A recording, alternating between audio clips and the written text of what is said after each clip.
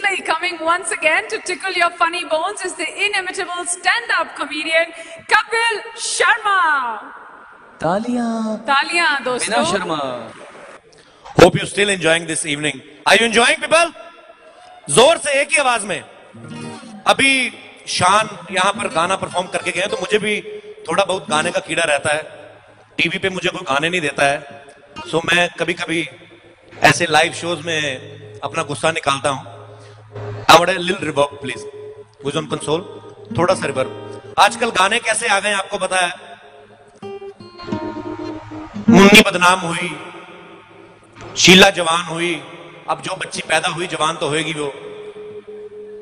मैं ये नहीं कहता हूँ कि ये गाने मीनिंगलेस है, लेकिन आज की डेट में हालत ये है कि ये गाने जब तक किसी पार्टी में चले ना, वो पार्टी सक्सेस ही नहीं मानी जाती। इवन हमारे जैसे शान भाई हैं, सोनू भाई हैं, ये लोग हैं वर्सटाइल सिंगर आप अभी इनको बोलोगे, आप ठुमरी सुना दो, गज़ल सुना दो, ये उसी टाइम सुनाएँगे, फटाफट। यंग सिंगर्स हैं। हमारे जगजीत सिंह साहब आज इस दुनिया में नहीं है।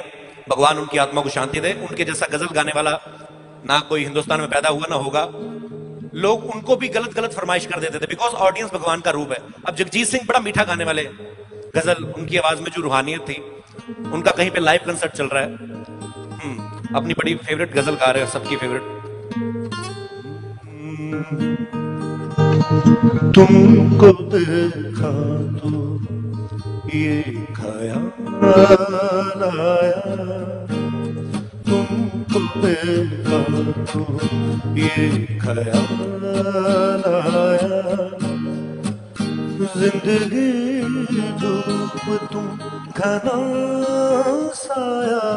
बीच में एक शराबी खड़ा हो गया है। जी जी। आजकल इतने नए नए गाने हैं मुन्नी शीला टाइप हो जाए कुछ।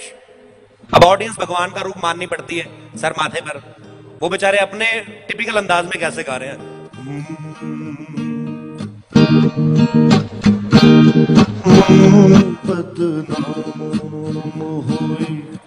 तेरे लिए। मुन्नी बदनाम हुई। तेरे लिए शिला भी जवान हुई।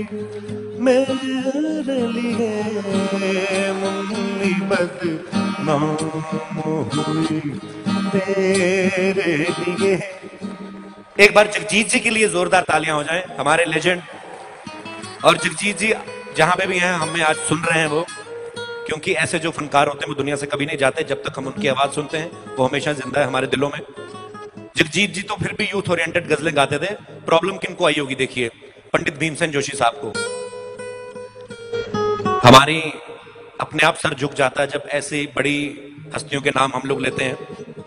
पंडित जी को हर क्लासिकल सुनने वाला, हर संगीत से प्यार करने वाला सब उनको प्यार करते हैं। लेकिन जो हमारी यूथ है, बड़े छोटे छोटे बच्चे, जो हालिया रिलीज़ हुए हैं मतलब लेटेस्ट प्रोडक्शन है, जो छोटे छोटे बच्चे, जो आप लेके नहीं आते पार्टियों में, किसी को पता ना चले, हम माए भी हैं। तो वो जो बच्चे हैं, उनको शायद नहीं पता है। लेकिन एक चीज़ आप सबको पता है, एक, जब एक ही चैनल होता था डीडी वन, एक सड़ी सी पिक्चर आती थी एक महीने बाद, उसको देखने के लिए हम लोग बैठे रहते थे। उस टाइम पे हीरो भी इतने फिट नहीं होते थे कि लड़कियाँ देखने के लिए बैठे सिंपथी क्रिएट करते थे हीरो के साथ। उस टाइम पे एक गाना आता था, मिले सुर मेरा तुम्हारा, जिसको हम सब लोगों ने सुना है। अब पंडित जी का लाइव कंसर्ट चल रहा है, पंडित जी टिपिकल क्लासिकल गाने वाले। वो अपने अंदाज में कुछ यूँ गा रहे थे। मिले सुर मेरा तुम्हारा। मेरा तुम्हारा तो सुर बने हमारा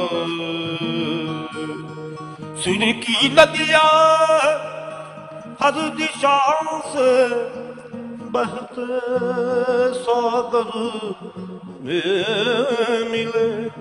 बादलों का रूप लेकर बरसे हल्के हल्के। मिले सुर तुम्हारा। पंडित जी को भी वही शराबी मिल गया। पंडित जी, वो तो ठीक है, लेकिन शीला का क्या करें? अब पंडित जी अपने अंदाज में गा रहे हैं। मिले मुन्नी मेरी तुम्हारी। मिले मुन्नी मेरी तुम्हारी। तो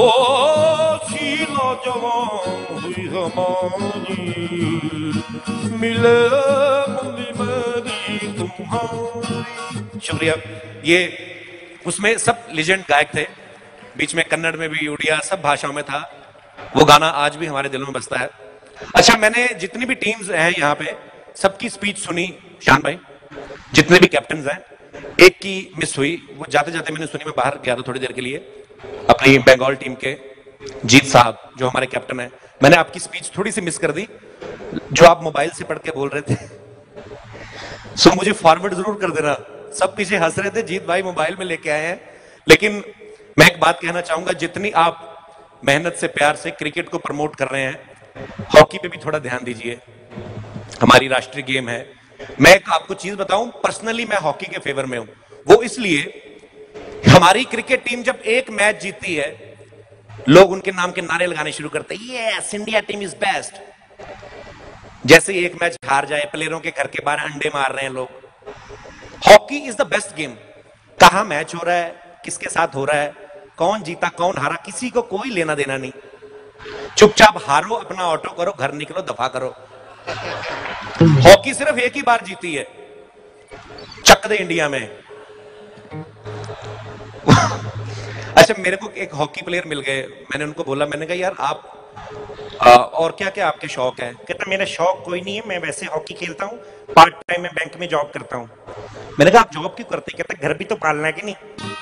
हॉकी वालों को तो इतने पैसे मिलते नहीं। मैंने कहा ऐसी बात नहीं हॉकी के हालात अब तो बेहतर हो गए हैं। अब पिछले दिनों आपने एशिया कप विन किया है। वो बेचारा आगे से मुझे पड़ गया कहता मैंने कोई जानबूझ के थोड़ी किया विन वो तो हम लोग ग्राउंड में पहले पहुँच के दूसरी टीम आई नहीं थी। मैंने कहा इससे पहले कि वो लोग आए धड़ाधड़ गोल कर दो।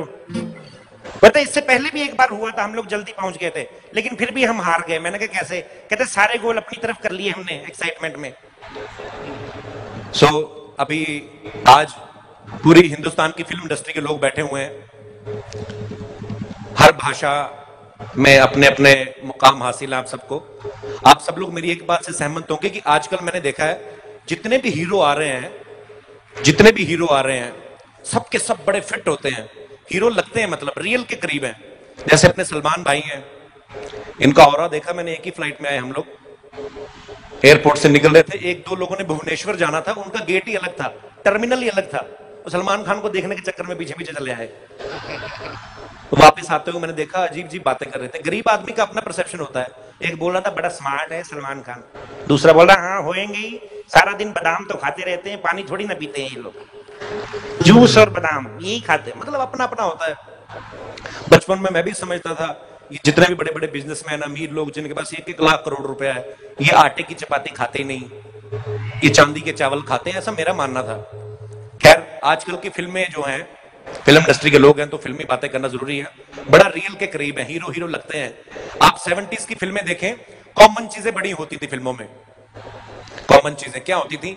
आजकल किसी भी फ़िल्म में देख लो आप, गरीब हीरो से लड़की प्यार नहीं करती। हिंदी फ़िल्म में तो ऐसा खत्म ही हो गया है। हीरो अमीर होना चाहिए एंट्री गाड़ी में होनी चाहिए उसकी, या फ़्लाइट में। वो जमाने गए गरीब हीरो से प्यार करती थी लड़कियाँ, अपने बाप से लड़ती थी। वो जमाने गए। आजकल के हीरो फिट भी बड़े हैं। पहले हीरो इतने फिट नहीं होते थे। सेवेंटीज में आप देखिए, कॉमन चीज़ें क्या होती थी? हीरो सारे के सारे गरीब होते थे। एक तो हीरो गरीब, ऊपर से माँ आंधी। उसके ऑपरेशन करवाने के लिए पैसे नहीं होते थे। माँ आंधी, ऊपर से जवान बहन की शादी की ज़िम्मेदारी। दूसरी तरफ़ किसी किसी फ़िल्म में हीरो अमीर दिखाते थे। उसकी माँ की आँखें भी ठीक, बहन भी कोई नहीं होती थी। उसमें विलेन अमीर होते थे। Doctor Dang. Shakaal, Mogambo, Lion साहब, हमारे अजीत साहब, उनके साथ कॉम्प्लीमेंट्री आती थी एक महिला गुंडी रिज़र्व कोटे में, मैं मोना डार्लिंग। मेरे को आज तक नहीं चला, पता चला वो फ़िल्मों में आती क्यों थी।